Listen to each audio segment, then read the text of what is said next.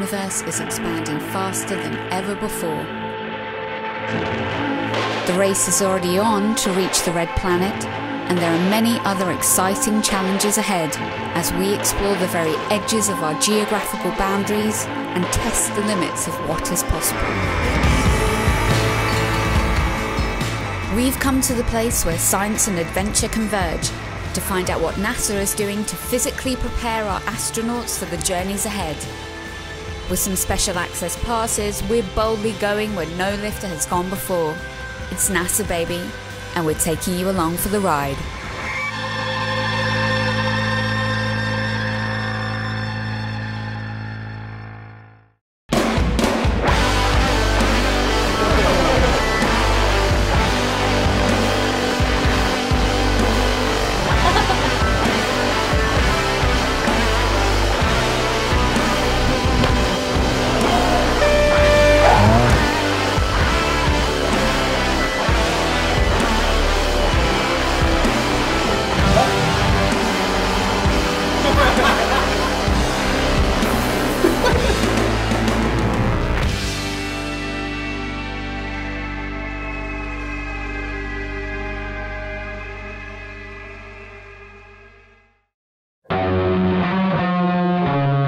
2015 was a big year in weightlifting.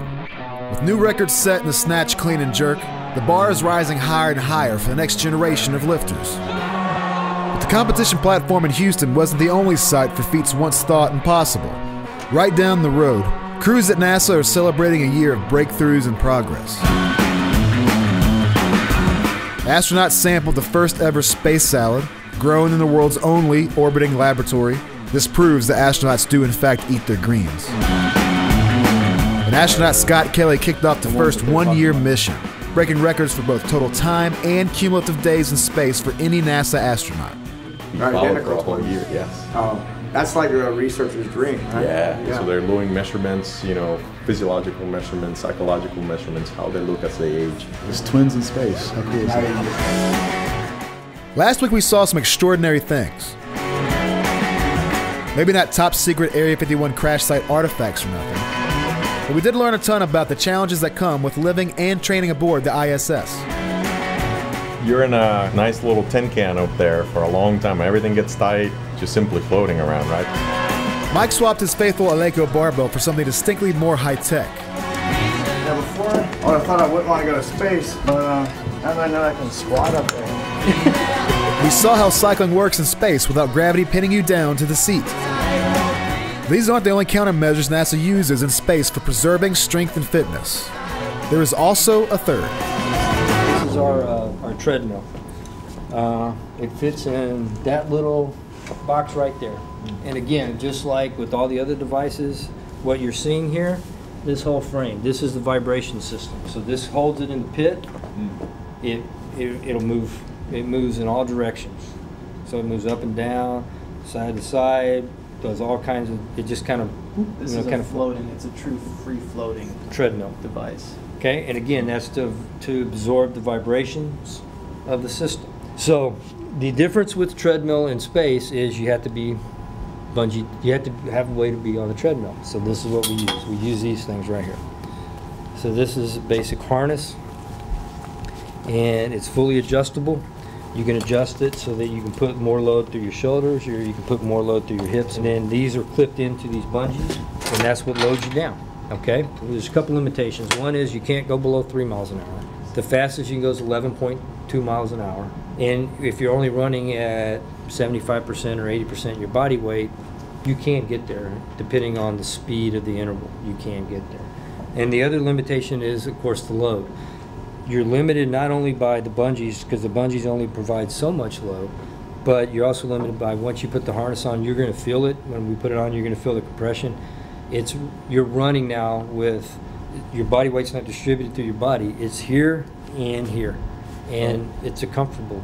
You know, some people some people can tolerate it, some people can't tolerate it. You know, and one of the things that we found out is very early on, which again gives us another idea to de to develop new stuff, is that speed is much more important than load. So the ground reaction forces that we're seeing don't even come close to the ground reaction forces you would see running in a 1G environment. the closest we can get to it is the faster you run, the faster we can get those loads to. Um, so load's not necessarily the important part factor, it's the speed, which works great into what we believe anyway, which is we want to do intervals anyway, so we want the speed. Right? Anyway, so why don't we get one of you guys hooked up and let you play with it a little bit? I'll show you some stuff with that. We probably get the least amount of load. As Mike suits up and has a go on the treadmill, you can immediately see the bungee and force absorption system kick into action. It's these ground reaction forces that help sustain the bone health of crew members during long missions. One in three people worldwide suffer from osteoporosis and the consequences of low quality bone mass. While they may never experience life in space, the training research conducted here is supporting the treatment and prevention of bone related disease and wasting on Earth. As we learned with the cycle, the biggest training return doesn't come from long, slow sessions. A few max effort sprints work just fine.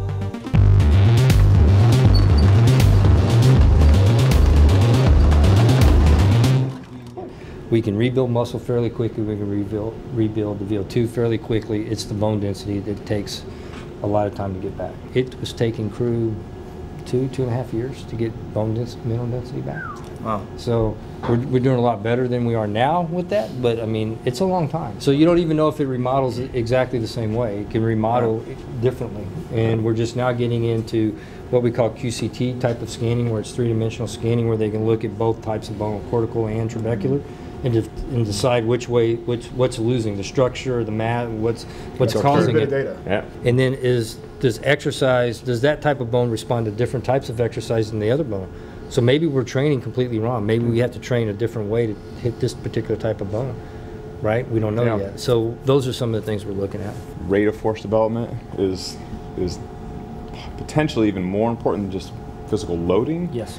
Um, do you guys have any way to do any, any fast loading, or is that, Well, or especially like deceleration? well, we're limited based on the mechanic of what we can do with station into this system.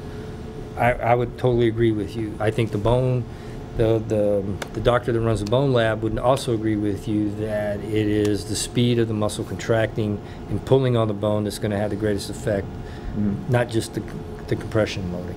right. Unfortunately, we're just not there yet. It would be great to be able to do Olympic lifting, and I think I mentioned earlier, as part of the new devices that we're looking at, one of the, our requirements, uh, I do not want, we don't want to be limited in speed. We want to be able to move as fast as we want to, which hopefully will enable us to be able to do, at least at the most, do cleans. Might not be able to do clean and jerk, might not be able to do snatches, but we can at least do some type, of a clean. What about like being strapped with a harness, being banded, uh, like plyometrics, landing from jumps, things like that? Like Can't deceleration is really high rate of force development, Okay. but you don't have any ability to Yeah. like jump and then land with the band or anything like that. It'd be too, The it would be engineers too, vi- too, vi- too Well- vibrational or. If any of these four corners bangs into any of the other corners, then it's going to get registered as a bump. That could be harmful because of the vibrations that it sends through the system as well as the, the parts of the hardware that are banging. So some of the stuff the Russians did would used to they would strap into the to the treadmill with the harness and they would do certain exercises on the treadmill. Hmm. Well, when they used our treadmill, they tried to do the same thing that they would do on their treadmill. Well, our treadmill, as soon as they were on our treadmill, we were monitoring station. All that stopped, and some of that was twisting type of movements, like hammer throw type of movements, hmm. Bounding, jumping, squatting on the squatting on it. That kind. It, that that's what this is for. This is for running. It was Right. designed to run. We don't. We. It'd be great to be able to do, quote unquote, a box jump. Engineering just Sort have of. our limits to us You know. on how and what we can do. So we got to work together with them. Yeah. Um, so they're they're really telling us um, kind of what speeds, what loads we can take, Mm-hmm. and then we massage everything to be able to fit within those Right. limits that they give us. So with this machine, it's for the most part a very sagittal plane Yes. Yeah. thing. There's no there's no transverse side to side or, or any rotational No. um, forces. Do you guys have any ability to maybe not a minute just do you know, like static one arm holds, or at least you're getting like some type of a you know a load side to side or any You loads could. Rotationally you- that, you- that are more Basically, what you could do. isometric at What you could, you, what you could do is, as long as you're, as long as we did it from this plane, you'd stand in this plane and do it, right? So technically, I could put the bar here, and I could pick the bar up, or I could do it with the cable and do the same thing, and do that. Those are some of the things we, we, we have talked about, uh, doing some things like that. Trying to look at one-arm deadlift, with the bar Right. and doing it from that side and just seeing if that would add some more stability into the core and, and just for the low back and the issues that we have with the back from spaceflight. Yeah. So it's one of the things we have talked about. The key comes then is finding the correct crew member to try that in space to make sure that it would work. And then it, it becomes, uh, if we wanted to change an exercise or to add an exercise that quote unquote is not approved, then I have to get engineering involved. We have to film it. So they'll have to coordinate filming it in orbit so that we can view everything, look at everything, make sure everything's monitored, make, you know, that nothing's good. And then engineering would come back sometime later after they've done their analysis mm. on the hardware and the video and say, that exercise is good to go. Right? So it's not just as simple as saying, okay, yeah, go do that. But, and, and again, we, we, we can do that, but mm. it's also finding the correct crew member that we would put in that position and say Right. that we would trust enough that we would want you to do it. Because Right. not every crew member is advanced enough to do certain things. Right. We can teach them to squat and do thing and do deadlifts, but there's only certain crew members I would have tried to do this, the thrusters with and the swings with until we knew that we could actually do them. I wouldn't just throw, call the guy up that's up there now and say, or whoever, we got three guys up there now, any one of them and say, hey, do this exercise. I feel comfortable enough for you doing this right now. Mm-hmm. No, if I've trained you in the gym, I'm okay with it, but if I've never trained you in the gym on that, I don't want you doing it in space. I don't want you getting hurt. Basically, these guys are remote monitoring their athletes while they're in orbit on the space station. But it works just the same way as any other coaching relationship here on Earth. It's about the search for what works, testing and retesting to see what stimuli result in the desired adaptations. But the body is, much like the International Space Station itself, a system of systems. It's all or nothing. I feel like we, we've covered a lot of topics. We covered you know, bone density being probably the biggest one, and then muscle mass certainly follows that. And then we've talked about blood volume, we've talked about uh, hematocrit, we've talked about heart, we've talked about uh, ligaments, tendons, cartilage. We've talked about a lot of stuff today. Um, what about like nervous system or, or hormones? A nervous system, that's a whole other issue. So, um, one of the things with space flight is the inner ear. So you have the inner ear thing going on. So the neurovestibular system is huge. Um, for us, post flight, I think that's our biggest issue, wouldn't you say? I mean, our initially is just that the idea that you move your head down and you want to keep going, right? Or you lean back and you fall backwards. You know, we equate it to being, you remember when you were a kid and you used to spin around in the, the, the chair and then you stop and you get up and try to, that's kind of what it looks like, right? So, so your balance is all messed up. Now, we don't know, we do, we do some testing here where they're looking at it, they actually put you on a platform and they move the floor out from under you and it measures, it can, it can, it can differentiate between vestibular or proprioception, so it can tell you one, which, which, which being effective more, which then en- hopefully enables us to then to say, okay, we need to work more proprioception, we need to work more neurovestibular, that kind of stuff. We, they do have a little bit of also in a perception and depth of perception uh, when they're coming back down. So talking a little bit with, with what you see and what you feel. So they may they may see um, you know kind of coming back from their spacecraft. They're going to touch something they think it's closer to their hand than it actually is. So that's something that you see really at, as soon as they land. You know that perception, that kind of motor sensory portion of it. Was that, was that because the, the blood volume was higher and they had that kind of intracranial pressure and it affected their vision and now their depth perception's all screwed up? we have a lot of uh, questions in that intracranial pressure right now and to what really how it's affected is it the, the um, ocular nerve that actually is going to be dealing with it or is it you know just the overall fluid that you have up there that creates that um, that intracranial pressure right now we're seeing some significant changes with the actual vision so they actually have seen um, uh, their vision decay as the mission progresses. It's one of those big risks that we have right now. And we didn't uncover until about six years ago or so, where crew members starting to come back from long duration. Hey, I'm now using glasses, but at the same time, I'm older. I'm a year older, so I should be, you know, kind of. And, and then we have a big spike of, of somebody that came back and, and had a significant change, which is not normal. Start looking at it, uncover that. Uh, but it may be that uh, kind of working that issue have been uh, looking at many disciplines. So the fault tree for that one is it's pretty big. So we don't know how it's what the origin is and what we can do about it uh, in, you know, in reality of it. We're getting closer. We're, we're testing more with MRI right immediately after they land. Uh, we're doing other tests. You know, we, we, we do on the field. We land in, in Russia, so we put a couple tents. The helicopters get there, and uh, uh, the medical people are around. Do uh, uh, field tests to do, to measure all those perception and the ability to stand and how long can you stay up because of the low blood volume. We want to make sure that uh, you know after coming back, do we have the right hardware inside uh, with you? You know those G suits that the pilots have. Could we have something that would simulate that?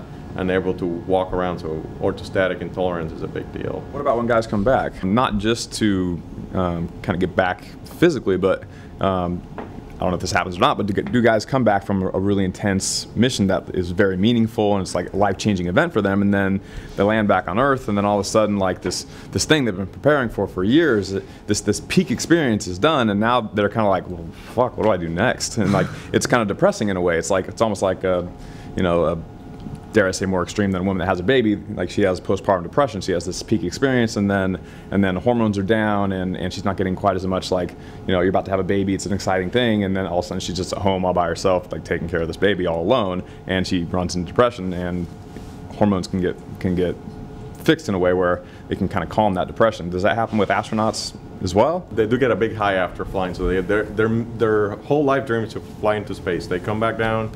Uh, yeah, they don't I did it. I, I, you know, how long is it going to be until I fly again? So those type of questions they all get out, they'll get inside of them. So we've seen definitely. Feeling, you know, they're, they're 24, 48 hours before they're up in that tin can floating around, mm-hmm. and then they land. They're whisked off to Kazakhstan airstrip and then taken to you know whatever plane that they're flying home in 24 hours later they're here at johnson space center mm-hmm. and meeting up with their family within 48 hours. We're talking, you know, up there, mm-hmm. 40 hours or less, you know, to being here, and maybe the next day going to their daughter's soccer game, and yeah. they're walking around looking.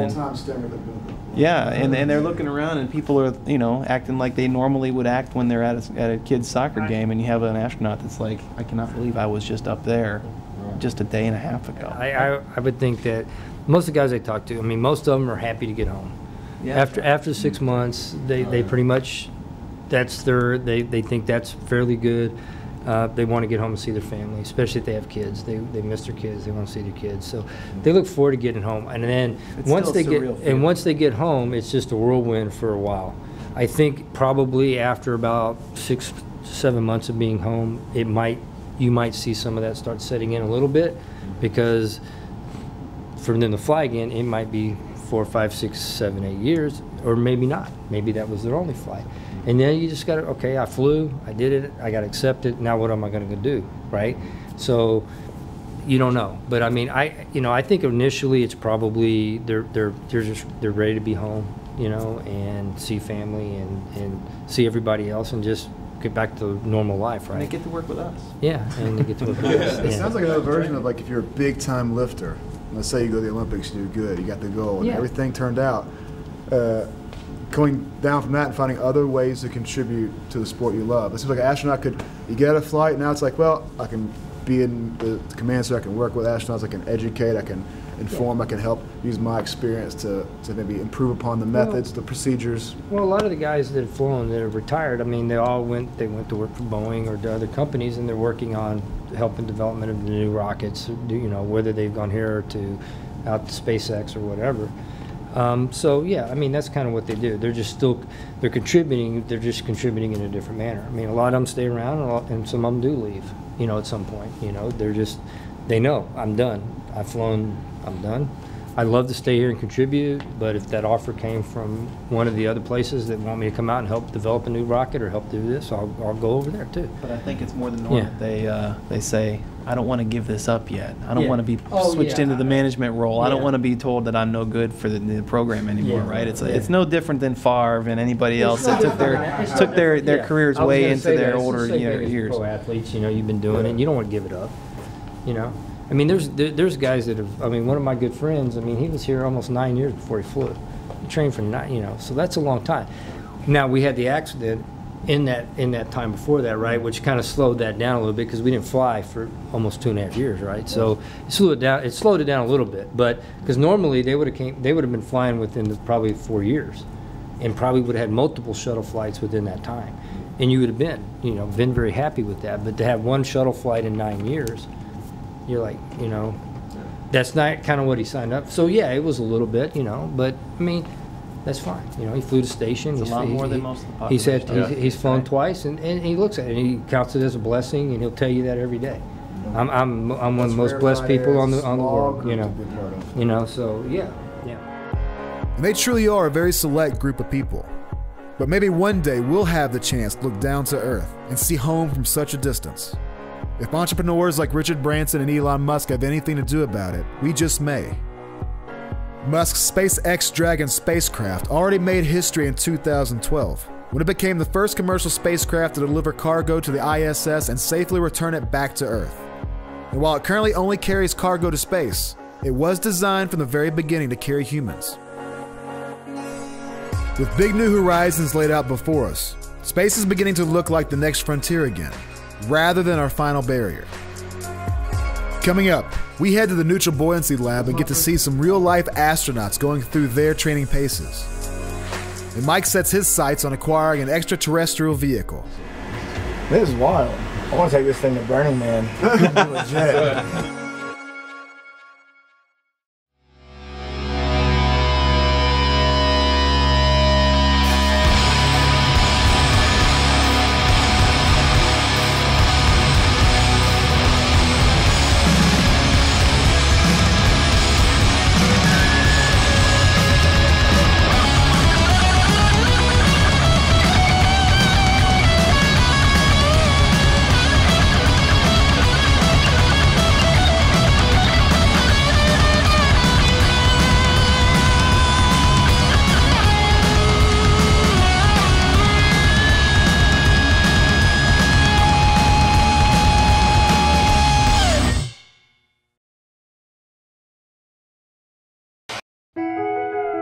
Work outside the protective confines of the spacecraft is required, the astronauts up on the ISS have to perform an extravehicular activity, or EVA.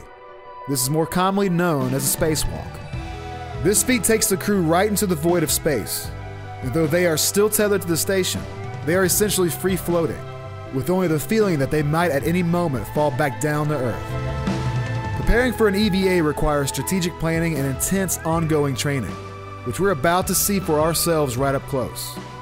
First up, though, meet Robonaut, a humanoid robot built to perform tasks that exceed the dexterity of a suited astronaut. This thing is designed to go where the risks to human life are just too great. There, the thought is that this will take the place in some of the astronauts' spacewalk, and some, particularly some of the dangerous ones. The ammonia is one of the big, huge things that uh, it's bad for the human.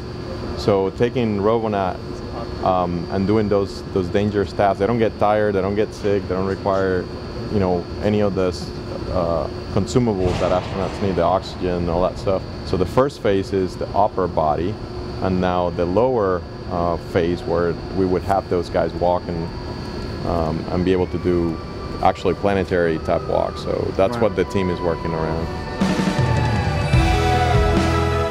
Robonaut is just one of the emerging technologies that will assist in EVAs for years and years to come.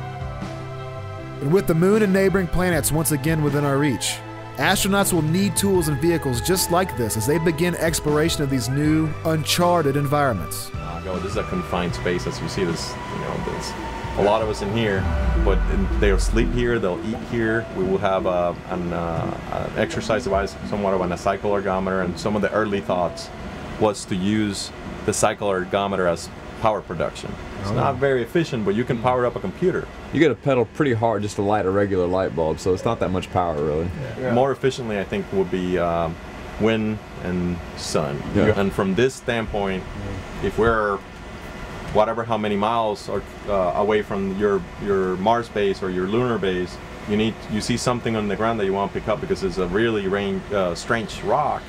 Then you can go into the back of the of the vehicle, have some spacesuits ready, and just jump into them without having to acclimate your body to the new environment. Go out quicker and do more EVAs covering more terrain and then making it better of a science type of mission. This is wild. I want to take this thing to Burning Man. Legit. We got to work on that. All this aside, the primary piece of gear for any astronaut is their spacesuit. This is the only protection and life support to be found outside the space station itself. And we're about to get up close and personal with these bad boys. But first, we have to travel to the Neutral Buoyancy Laboratory, NASA's testing ground for all EVA events. Located within the Sonny Carter Training Facility, the lab includes a pool that's close to 40 feet deep and holds approximately 6.2 million gallons of water. With full scale mock ups of ISS modules, this environment allows astronauts to move through a highly simulated spacewalk, including all of the appropriate bailout procedures should something ever go wrong. We're here to meet with Robert Knight, a suit and tool engineer that got his start at NASA way back in 1989. This is one of the guys that actually builds the Class 1 flight suits and the highly specialized instruments that astronauts handle during work and repair missions. As Robert says, it's definitely a dream job. He's here to explain exactly how training in the NBL takes place. But yes, this is this is where they practice doing their runs over and over and over, so they know it by the back of their hands. We typically do three to four what we call NBL events every week, whereas when we're flying shuttle days, uh, we we're probably doing NBL events every day. We had uh, anywhere from two to four suits in on any given day. Uh, every time a crewman goes into the water, that crewman has four divers with him or her. Uh, you'll have two safety divers, you'll have a utility diver, and then you'll have a camera diver. So wherever that crewman goes, that camera follows them everywhere. And this is just one small process of what it takes nowadays to actually get up on station. Uh, everybody now who goes to station has to be EVA qualified. So you have to be able to function inside a suit. And again, it's just one small process of the, you know, the steps it takes to get to station. Yeah, Neil was telling us how the demands of actually being inside that suit, I didn't realize. I guess that's pressurized, and just to move and do things that maybe look relatively simple. I guess you see spacewalks, you see movie depictions of it, where you see the, mo- the motions look very pain. It's not so easy just to turn a wrench or turn a tool. I guess every moment of that takes intense focus and intense physical discipline to execute precisely. Absolutely. This is, uh, you're jumping into a suit that's pressurized to 4.3 psi, so you're getting into basically a rigid suit. Something that you have to acclimate yourself on how to properly use, and thus the pool. So once we put them in the suits, and we're actually using the suits they train in are actual spacesuits. The suits you'll see today, these are actual, real spacesuits.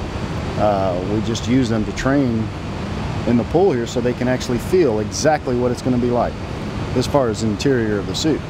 Now, in the water, of course, uh, simulating zero G by means of neutral buoyancy, you still have drag on the suit. You still have the zero G effects or the, the uh, uh, gravity effects on the suit here in the pool. Once they're in space, a lot of the feedback I get from them is it was much easier. so, Well, you got to train, like train, make training really hard. So on competition day, Right. on game day, On game day. it's not so hard. It's not so hard. So we we uh, we've seen crewmen come through here that have trained and trained and trained. I, I think one of the, the the one of the flights I'm most proud of is the STS-125 flight, uh, where we captured the Hubble Space Telescope, rebuilt it for the last time.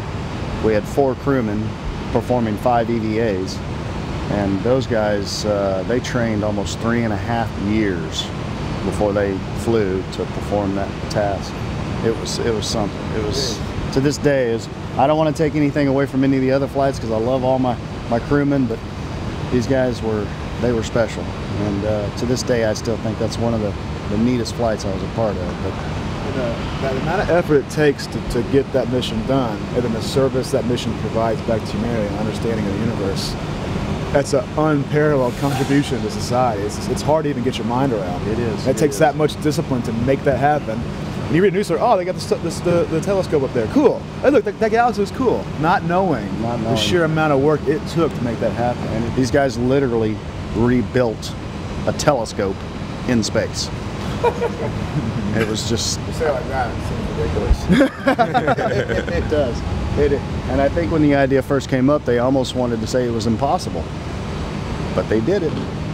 And this is where they trained for it. Amazing to see all the preparation that goes into every training session and the amount of support required. There's literally hundreds of people involved in every rehearsal run, from technicians and medical teams to ready divers monitoring training constantly from underwater. We actually have quite a few divers at work here. Matter of fact, over my shoulder, you'll see quite a few of them here. and they have dual roles. They're not just divers. Uh, we have uh, divers that are machinists, uh, audiovisual technicians, audiovisual engineers. I was gonna say, so these guys just part on your routine, guys who s- like diving and are good with suits and all, probably have a, a, a deep background that enables them to do a vast array of tasks. It seems like everybody must have the capability to, to wear many hats. To keep a facility like this up and running, we have to have uh, uh, an assortment of different backgrounds. And uh, believe me, they, they stay busy. They stay very busy. This is an incredibly impressive facility, with attention paid to every detail. The exterior of the mock-ups look identical to the real space station modules. But what about the inside? How do you train for that environment? This facility uh, was mainly constructed to do everything outside of the space station. But there is one part of the space station that we have to actually perform some kind of training task inside, and that is our airlock. And I don't know if you gentlemen can notice, but there's actual handrails, the yellow handrails. That's actually a uh, hatch door that we can pull off the airlock just in case we have an emergency if the two crewmen are inside the airlock. Now, when the crewmen go into the airlock, you've got one crewman with his head towards space station, and when the other crewman climbs in, his head is away from the space station. So they're pretty much head to foot while they're inside the airlock. Not a whole lot of rooming inside the airlock. So in this whole facility, that uh, the, all of the mock-ups inside the pool, that is the only one mock-up that they actually get inside. Everything else is extravehicular. We've covered the tools, the mock-ups, the systems crew, and protocols. Now there's just one last thing to discuss. It's what we've all been waiting for. The suits that we use are, are basically floater suits.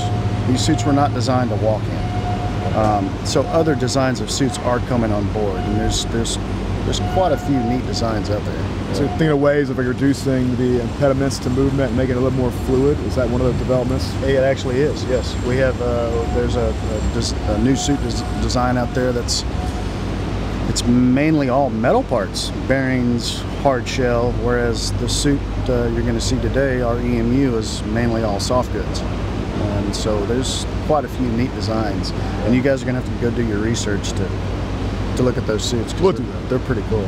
We'll do some research then. So how long do guys go out on, on a spacewalk where they're, they're in the suit the whole time? Like, do they have access to any type of like food or water while they're in the suit? If they're in, in a suit, like working hard for six or eight or ten hours, or is that a realistic time domain? Or Yeah, yeah. Uh, Typically in EVA, we do an EVA six and a half, seven hours. Yes, we do have a water bag that's inside of the spacesuit, and we can fill that bag up with either 21 or 32 ounces of fluid, uh, more or less water. Yeah. And the crewman has that for hydration. That's our hydration system for the suit.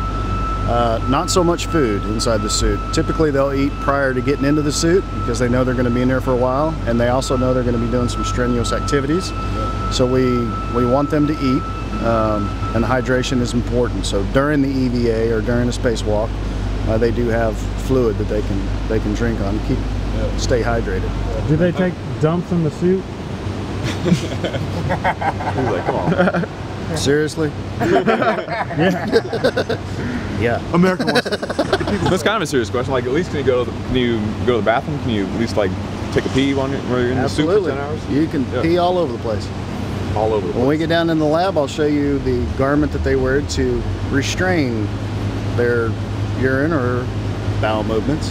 Right, right. But yes, you, you can go to the restroom in the suit. Right. If you if you need to, you can definitely go. So uh, when I was just uh, remember one thing: yeah. if you do take a dump in the suit, you got to smell it. The spacesuit was originally made for Alan Shepard's first historic spaceflight in 1961 and has since seen many developments and adaptations. But while the material, color, design, and functionality all might change, the primary goal of this garment has always been to first and foremost protect the astronaut from external forces. Today's suit is white to reflect heat from the sun, which can rise to over 275 degrees Fahrenheit. The helmet even houses a gold lined visor to protect astronaut eyes from the bright light of our home star. This new Daft Punk helmet. Originally, the suits were all tailor made for each individual astronaut, but nowadays, they're made to be one size fits all. Look at this, guys. Oh boy. Look at that. Just not this size. Let's take a closer look at the current model and some details on how the suits are actually built. This is called a 4.3 EMU. One of the easiest ways I can explain it is that the, the, the front of the suit right here, this whole area is called the DCM, Display and Control Module. The back of the suit here is called a PLIS, PLSS, Primary Life Support System. The simplest way I can explain this is this is its own spacecraft. Um, this would be the dashboard to the engine. Oh, wow. That's the best way I can explain it as far as simple terms. This actual module here controls all functions of the suit. Prior to performing the spacewalk, they will they'll don uh, undergarments, uh, liquid cooling ventilation garment, then they'll climb up in the suit. Once the suit is buttoned up, uh, from there we go to the O2 actuator. Uh, this is primarily the key to the suit, if you will. This is this is how we get the suit started. Uh, you'll notice the front of the DCM, most of the writing is backwards. So the crewman's head is, is fixed up here. Of course, you cannot see down here in front of the suit. So we actually install what we call wrist mirrors to each one of the wrists so that they can actually read all of this in the front of the suit. This round dial here is called a CCV, uh, cooling control valve. This is what uh, allows the water to flow over their body in their LCVG, their garment. Um, this switch here is called the O2 actuator. This is primarily how we press the suit. This is how we generate pressure in the suit. We have display and volume controls here for the intensity of the LCD readout and also the volume that goes to their ears and when they're talking out of their CCA. Um, when the suit is actually in the airlock space station, we can get all of our power through this port right here. This is what we call the SCU port, a service cooling umbilical. Uh, the service cooling umbilical supplies the air, water, communication, electricity to the suit, so that way we don't have to run off the battery power in the suit. Uh, once they're prior to going out of the hatch, they'll they'll switch a switch up here from from battery or from SCU to battery. Once they go to battery power, they'll disconnect this umbilical, they'll set it on the wall, they'll close this thermal cover here, out the door they go. They're pretty much on their own. Out into the great unknown. And it's all because of this incredible piece of technology that they can survive out there. It really is an extraordinary life support machine. But before we wrap things up, there's still that important issue we raised earlier. How about the bathroom breaks? Here's your toilet. so this is what you have to wear uh, prior to donning the LCVG and prior to get into the suit. Uh, we highly recommend that you wear one of these diapers. Um, you don't want to be stuck inside of a suit for six to eight hours and have to hold it. That, that wouldn't be good. So we'll supply you with one of these. Uh, you're more than welcome to use it. You don't necessarily have to, but if you can hold it for that long, well, good for you. Good for you. After they've done it for a couple weeks, they're like, you know what, I go every time. It, it, it, it yeah. I, we've had a few that'll jump into suits and no, I don't need it. About midway through the run, they're like, uh oh. Uh oh. Uh oh. Or like, what do you mean? What, what? First of all, in the space business, especially doing EVAs, we don't, there's a few terms we don't want to hear and we don't want to use. One of them is oh no. The other one is uh oh. And I can't say the other one on camera. uh, but uh, Can I say but there but there are a few times that we've had crewmen say, you know, let me try this. Let, let me try it without it. And I'm always the guy going, you don't want to do that. so after about the first run, yeah, they start wearing it. I'm like, yeah, as soon as I went outside the spacecraft, I, I used my diaper. I saw space. I had my oh blank moment. With our time at NASA drawing to a close, we've got just one more thing to see, and that's a live training event in progress. For this EVA, astronauts Shannon Walker and Andrew Feustel are suiting up for entry into the pool. As you can see, a team of highly skilled individuals follow a detailed step by step protocol to ensure that each element of the suit is fixed in place securely and that the tools are all attached and visible. Once they're suited up, we have all the tools on them, all the facility weights. We'll use this crane right here. We'll hoist them up over the water and gently lower them into the water. Once they get just below surface with their head, we'll start doing what we call an initial weigh out. Kind of pull them out of the donning stand and, and see about where they're at. Are, are they too buoyant? Are they too negative? Uh, Got to make some adjustments right here at poolside. And then after that, we take them over to what we call our down lines. You can barely see it, but there's a, a yellow float bag just under the surface of the water over there. Yeah. That's one of the down lines they'll be using to go all the way down to the bottom. Once we get down to the bottom hole, that's when we do our uh, final weigh out. Get them tweaked out to where they're perfectly neutrally buoyant with everything that's on them, their tools, their weights.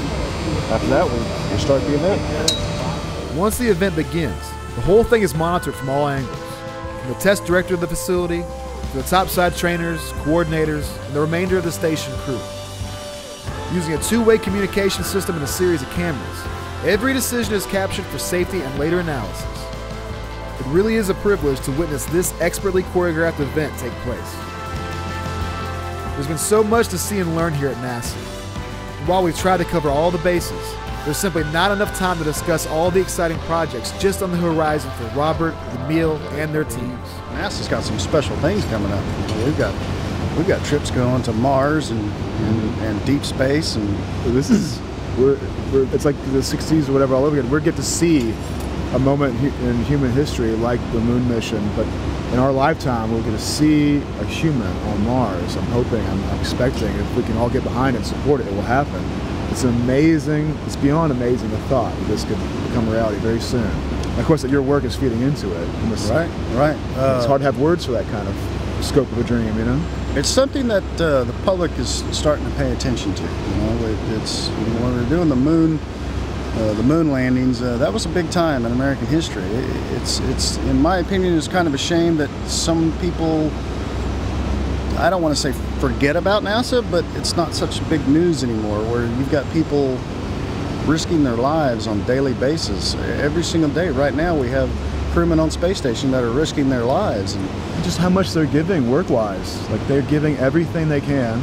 They're perpetual grad students too, right? Their mind and body is working always to improve and to learn and to push our mission forward. constantly. At the very least we could do is say, hey, thanks for working to save society and humanity and give us bright horizons to look towards, you know? And I, I honestly think that we're going to be back back there in that position um, with all of the neat things that I mean, just the, all the kids that we're getting involved in the NASA programs, all of the the programs we have out there in our high schools. We have the, the robotics programs and all the grants that NASA gives for you know students for technology.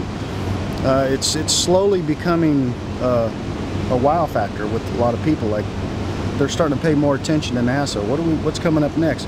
I mean, most of the things they've seen on TV, you know, especially about Mars and Moon and everything, they don't know the half of it. Those are just the the big selling points. You ought to see all the other cool things we do at NASA. So the work going on right now, especially with the technology that has come on board in the last 10 years, is is unbelievable. NASA is reaching out not only into space, but to communities across the globe to help make this world a better place for all of humanity. Ground control to Major Tom. With such an amazing perspective on Earth, the example these astronauts set is something very important for everyone to see. When they look down to Earth, there's no boundaries, just Earth, water, um, and we all are in here together. So it's for the greatness of humanity, not for the greatness of any nation in particular. That context is powerful. Man. Yeah, it's working together. Where, where else do you see that? This is ground control to Major Tom. Our desire to feel special is strong. Before the likes of Copernicus, Newton, and Einstein, we mostly held the Earth to be the very pivot point of our galaxy.